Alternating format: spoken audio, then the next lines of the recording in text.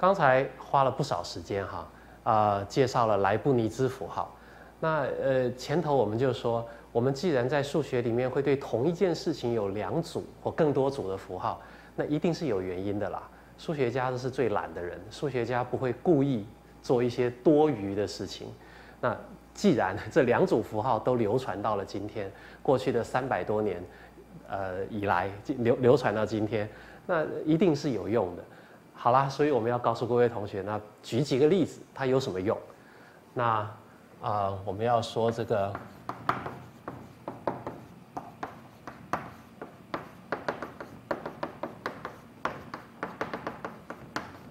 呃，它不是，呃，我千万不要让你以为只有我要说的这几种用途啊，这个，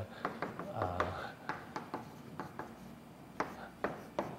就是我们只示范，我们要讲是，我预计我们要示范三种，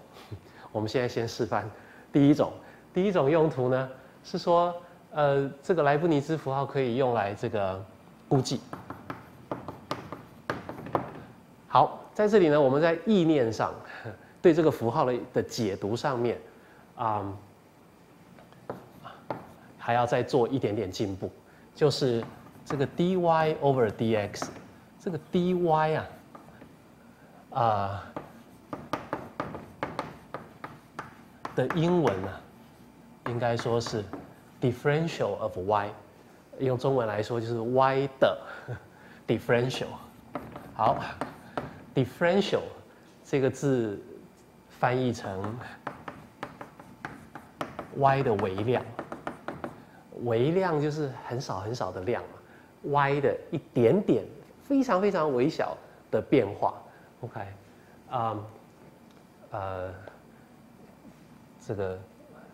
还是要强调一下，前面我们前面写 delta y 的时候，代表是 y 的差距。那写成了小小小 d 的时候呢，是很小很小那个变化量，很小很小的差距。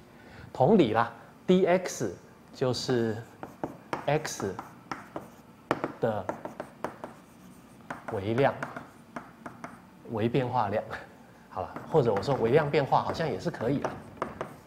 所以 differential 这个这个奇奇怪怪的英文字呢，就是一滴滴的变化的意思，一滴滴。所以我很喜欢这样说，所以呢。我要再跟同学说，虽然教科书都不会这样写，但是我喜欢跟同学说，因为这个叫做叫做 D 嘛，呃它就念作 D 嘛，啊 D 就是就是除了 除了他也可以了解它是猪以外的，我我们在国中高中 D 都教老师都说是猪嘛，啊它也可以说是这个这个国字一滴滴，所以我们也可以想这个 dx 呢就是一滴滴。的 x，那那个 dy 呢是一滴滴的 y，一点点一点点，x 变一点点，y 也变一点点，那相除的这个比值，或许同学还记得，相除的结果叫做商，对不对？有这样的一个字叫做商，所以这个结，所以这个结果，再写一次好了，这种形式的东西又称为微商，好。但是这件事，我我我我补充，当做补充就好了，因为这个名词是中国大陆习惯用的名词，我们并不怎么习惯用。好，它有什么用？我们来这边说一下。既然这个 dy 是代表 y 的变化缩到很小很小，那如果那个本来的变化 delta y 本来就不太大的话，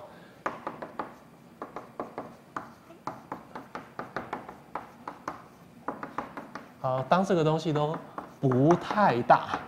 好，至于它什么时候叫不太大，这要看你你在处理金融或者是工程问题的那个现实状况，你来判断是不是不不太大。当这个不太大的时候，你可以想，啊，这个 y y 的变化，y 的差距就是一滴滴的 y，那 x 的差距也就是一滴滴的 x。如果你这样想的话呢，那么怎么样？因为 dy over dx 就是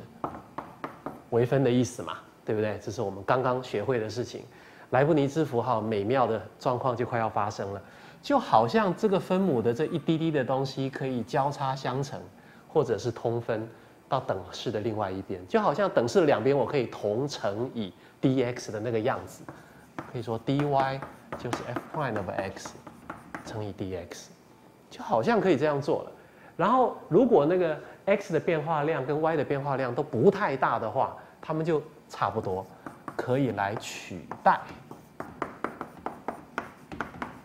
就像这样，这个 delta y 呢，就说它差不多，就是 f prime of x 乘以 delta x，是我们刚刚说的第一个用途，用来估计，用来估计。啊，我们就用原先举的这个例子，y 等于 x 三次方减 x 分之一，来做一个估计，好不好？所以如果这个 delta y 是 f of 二点二减 f of 二，那啊，意思就是说，这个 x 呢是从二点二跟变化成二，对不起，我说反了，是从二变化成二点二，所以这个 delta x 当然就是二点二跟二的差距，那当然就是零点二了，